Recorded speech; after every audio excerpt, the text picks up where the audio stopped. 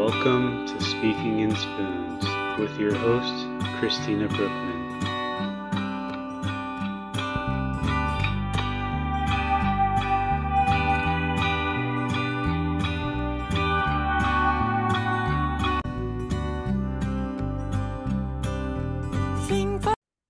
Hi, this is Christina Brookman, your host with Speaking in Spoons for Spoonie Sunday. Um, it has been a rough week for me. I was actually in the ER the other night.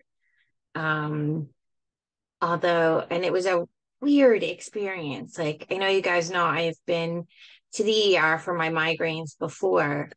Um, but this time I started having like convulsion seizure like things. Um, and my poor boyfriend, I kept saying, no, I don't want to go. And, and he's like, I really think you need to go because he has seizures.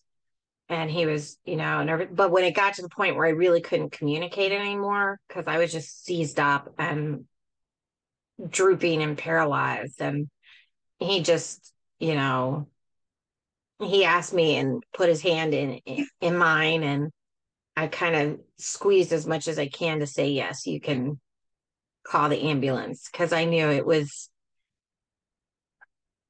I wanted to give him that permission because he kept saying, you know, please don't be mad at me. Um, and I think a lot of us, we can have that stubbornness in us. Like, and for those with chronic illnesses, we know how hard it is to go to the ER sometimes because, you know, you can, when you have pain, you can be treated like a pain, you know, a um, pill seeker when you're not. Um, or you have trouble uh, with treatment in general because nobody knows what's going on and they'll say it's psychological because they don't know what it is because you have weird stuff. Um, but it's, you know, as I've discovered over the years, honestly, the ER is not the place for diagnosis. That's not what they're trained for. It's, you know, it's to fix trauma. Um, and, but you do have to step back and realize what your caretakers and loved ones are going through and let go of that control a little and give them permission to take care of you. Because think you have to think of what they're going through as well. And that's easy to forget you know? I forget that sometimes of this isn't just my experience you know? It's their experience as well. It's very scary for him to watch and I should know that because I, you know, I get scared with stuff he goes through. Um, and my friends go through. So, um, anyways, I, I gave him that permission and the ambulance came and my worst nightmare finally happened. Like I've always been afraid I would fall in the shower and someone would have to call the ambulance and I'd be naked. Like every it's like your worst nightmare, you know, that nightmare you go to school naked. And that's what it was. I was naked in my bed and there's like a team and I couldn't even really see because my right eye kind of sh- clams shut when this happens. But I know I hear voices and I know there's like a room of men, you know, that I don't know. And there I am, bare ass naked. And it was humiliating, but also like I'm in and out because I'm seizing and I'm migraining and it's just like, you know what? Who cares? It's my butt. It's my boobs. Who cares? I got to get to the hospital. And they were nice and they wrapped me in a blanket. Um, but then, you know, my tip flops out and it's like, oh crap. But then they dropped me down the staircase. Um, I didn't even realize that's what happened. I kind of woke up to one of the EMTs on my head. I was like, ow, that hurt. And then later in the hospital, my boyfriend was like telling the doctors and the nurse, like, no, no, no, no, no. She got dropped down half a flight of stairs. I was so out of it. I didn't realize that that had happened. I did know that, like, I feel so bad for that. And he was so embarrassed. He was like really, really embarrassed. But you know, it happens. People get dropped think of everything they do all the day in the lives that they're saving. Like, you know, my back's a little sore, but my back's, you know, I'm used to having pain. So it's like, whatever. Um, I went to the ER, that was the job. And um, yeah, now I can put that on my bucket list, being naked in front of a room of people I don't know. And then I, we're at the hospital, I'm like, uh, when I'm getting discharged, I was like, do you guys have any extra large scrubs for me that I can wear home? Because I'm naked.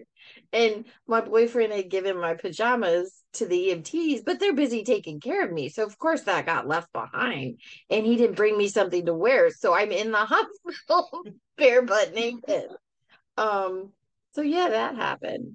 But this was my first, not my first, the past couple of ER trips. Once I have been diagnosed officially with the hemiplegic migraines, all of a sudden my treatment has been better in the ER because they're no longer going, oh, you're crazy. That's why this is happening. Because they know what's happening and they know give her a migraine cocktail. And in a few minutes, she'll stop drooling. She'll stop like see all everything will stop. And with the seizing with me, I get like purple in my face. I get so hot. Like it it comes on like a flash of getting overheated. And you know, when he just started laying ice on me, I started getting better. Like I've had to do this for years. Ice vest, ice caps, like he calls me Alaska now. That's my new pet name, Alaska. But which is so true. Like I could live in an iceberg and be an Eskimo without all the fur. And I would be like so happy.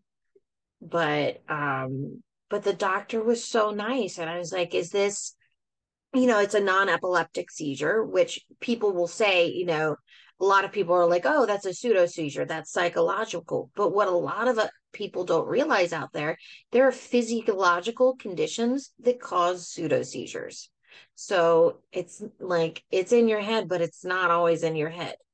Um, and even if it were, it's still something that is legitimately happening to your body.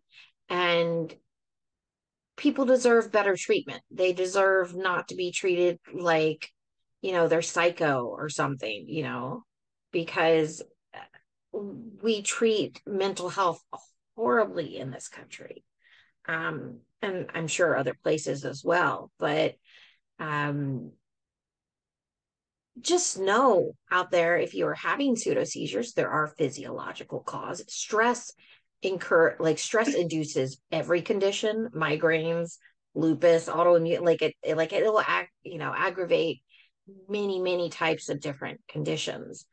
Um, so that is it would be ignorant for me to sit here and say that stress in my life doesn't encourage that. But and um I also had like the doctor said, he said, looking at your history, complex would be mild, putting it mild. So, you know, I just have a lot of weird stuff and they all kind of fight and encourage each other. And it's just rolling with the punches and trying to make the best out of, you know, lemons. Um, and I like lemonade. So there you go. Um, anyway, so that was my weird and exhausting week. But I wanted to mention that, especially about the people that love you and are around you, to keep in mind what they're going through, because it's not all about us, you know, it's their experience as well. And we can't deny that to them, you know. Um, so we've got to take care of them as well as ourselves and you can't take uh, care of others unless you're taking care of yourself. Um, hint hint to people out there. Um, i also had a great meeting this morning with DARS um, for those of you that have listened the department of aging and rehabilitative services. I have an active case and you know we're trying to figure out you know what can christina do?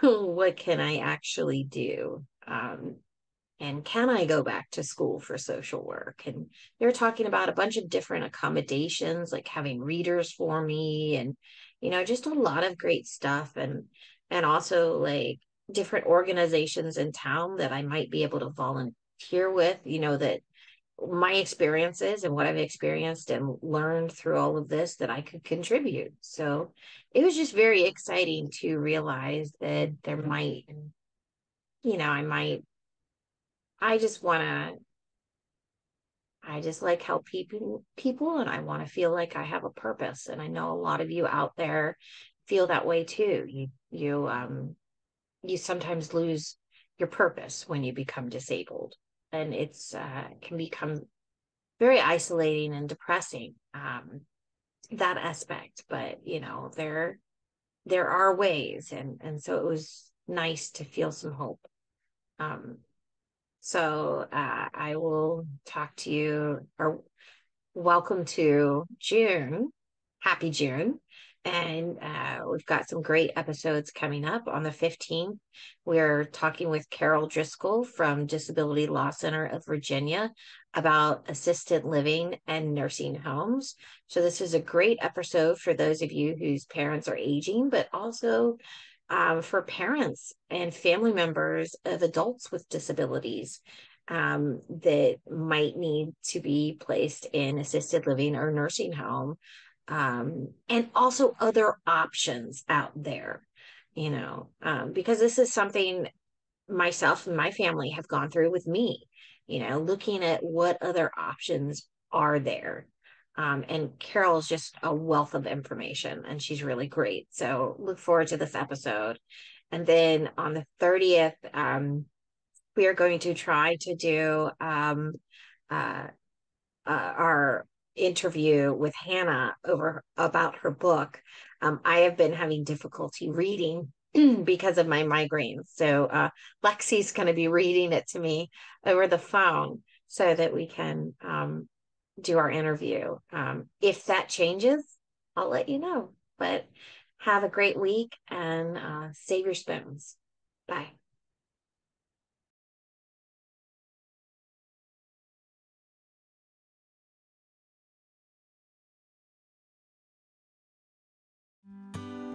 If you want to contact us, please send a DM or email to speakinginspoons at gmail.com with any stories you have or would like to interview with us on any of our upcoming topics. And check out our website for all of our upcoming episodes and what's happening in the Speaking Spoons community at www.speakinginspoons.com. Thank you for listening to Speaking in Spoons and have a great day.